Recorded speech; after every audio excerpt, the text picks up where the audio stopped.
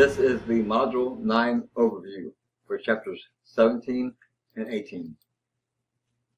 In 17, we look at analyzing starlight, star colors, spectroscopy, brown dwarfs, proper motion, and using spectra to determine rotation.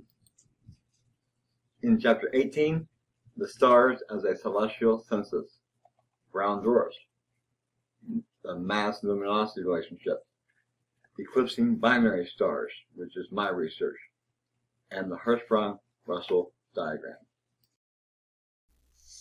Well, did you enjoy that episode of 10 Minute Astronomy? If so, check out all the other videos in that playlist for 10 Minute Astronomy and other videos on my channel, and then hit the subscribe button right there. Thanks.